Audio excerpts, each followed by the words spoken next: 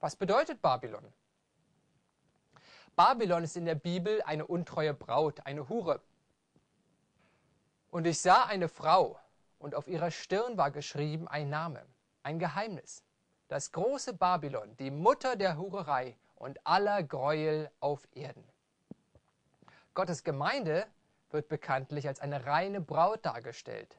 Paulus sagt, denn ich habe euch, die Gemeinde, verlobt mit einem einzigen Mann, damit ich Christus eine reine Jungfrau zuführte. Diese reine Jungfrau wird auch in der Offenbarung mehrfach beschrieben. Dieser reinen Jungfrauen wird eine untreue Frau, eine Hure gegenübergestellt. Sie ist das Bild einer untreuen, einer von Gott abgefallenen Kirche. Nach Offenbarung 17 hat diese Kirche ihren Sitz auf sieben Hügeln bzw. Bergen. Die sieben Häupter sind sieben Berge, auf denen die Frau sitzt, sagt Offenbarung 17, Vers 9. Alle Bibelausleger sind sich einig, dass es sich hierbei um die sieben Hügel Stadt Rom handelt.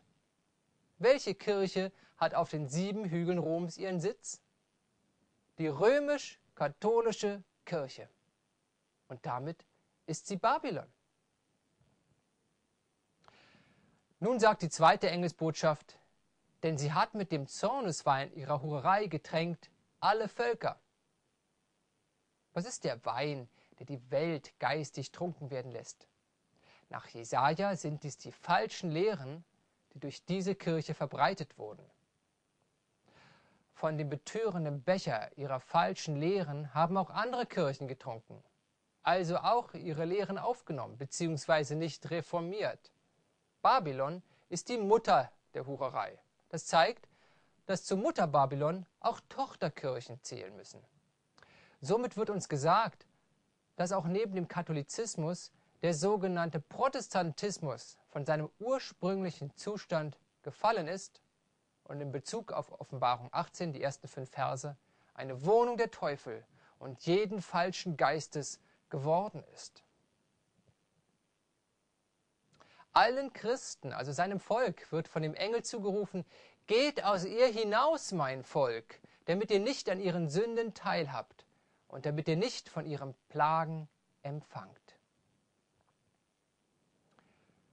Die dritte Botschaft lautet, wenn jemand das Tier anbetet und sein Bild und nimmt das Zeichen an seine Stirn oder an seine Hand, der wird von dem Wein des Zornes Gottes trinken, der unvermischt eingeschenkt ist in den Kelch seines Zorns.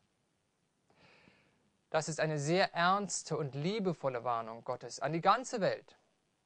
Alle, die das Papsttum oder sein protestantisch-ökumenisches Bild anbeten, also sich ihm unterordnen, indem sie sich dem Zwang der Sonntagsheiligung wieder besseres Wissen unterwerfen, werden das Mahlzeichen des Tieres empfangen und den ewigen Tod erleiden. Warum warnt Gott so eindringlich? Weil es ihm egal ist, ob wir errettet werden oder verloren gehen? Gott zeigt mit dieser ernsten Warnung die Dringlichkeit dieser Botschaft und will uns zur Entscheidung auffordern. Er will nicht, dass jemand verloren geht, sondern möglichst viele zu der Gruppe von Menschen gehören, die das Mahlzeichen des Tieres nicht erhält. Offenbarung 14, Vers 12 zeigt uns die Gruppe, die diese Warnung beachtet und dem Mahlzeichen widersteht. Hier sind, die da halten die Gebote Gottes und den Glauben Jesu. Das sind Menschen mit Vertrauen auf Jesus. Sie halten alle Gebote Gottes, auch das Sabbatgebot des siebenten Tages. Hören Sie auf die Einladung Jesu, wenn er sagt, komm. Noch ist seine Hand ausgestreckt. Legen Sie Ihr Leben in seine Hand und sagen ihm, ich will dir folgen und deinen Willen tun. Ich will deine Gebote halten was ist denn die Sünde wert? Fragen Sie nicht, was werden meine Freunde sagen oder meine Familie? Fragen Sie, was sagt Gott? Sagt nicht die Bibel, heute, wenn ihr seine Stimme hören werdet, so verstockt eure Herzen nicht. Gott verlangt von ihnen keine Leistung. Sie sollen keine zwei Zentner heben oder ihr Abitur mit 1,0 bestehen. Er will, dass sie ruhen Sie sollen ruhen als ein Ausdruck des kindlichen Glaubens und Vertrauens eben dann, wenn er es sagt. Ist es so schwer zu ruhen? Hätte nicht jeder gerne von uns 52 Tage mehr Urlaub im Jahr? Verlangt Gott etwas Schweres? Nein. Er möchte Gemeinschaft mit uns haben. Er möchte, dass wir ihn lieb haben.